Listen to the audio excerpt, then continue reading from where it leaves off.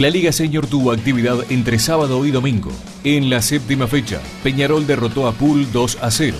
A segunda hora, Nacional ganó los puntos, ya que Boca no completó el equipo titular. El domingo, Melo Wanderers goleó a Naranjo 5 a 2 y Conventos también ganó los puntos ante Independiente, que no pudo completar el equipo. Las posiciones en la Liga Seniors Masters. Nacional puntero 18 puntos. Peñarol 15 igual que Artigas. Conventos 14. 9 para Naranjo. 6 Melo Wanderers y Boca. 4 Pool y sin unidades Independiente.